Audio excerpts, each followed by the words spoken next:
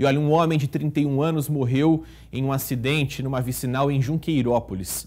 Segundo o Corpo de Bombeiros, não se sabe exatamente o que aconteceu para que esse caminhão tombasse, ficasse com as rodas para cima. O motorista ficou preso nas ferragens. Ele chegou a ser levado ao pronto-socorro, mas já chegou sem vida. A perícia deve apontar as causas desse acidente.